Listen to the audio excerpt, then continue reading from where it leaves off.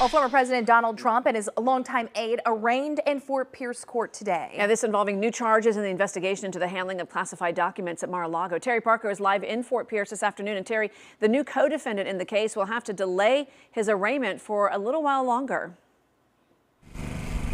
That's right, Tiffany and Aaron. What happened is the arraignment went as expected for Donald Trump and his valet, Walt Nauta, but a delay in securing a local Florida attorney for the third defendant, Carlos de Oliveira, has caused his arraignment now to be moved to next Tuesday.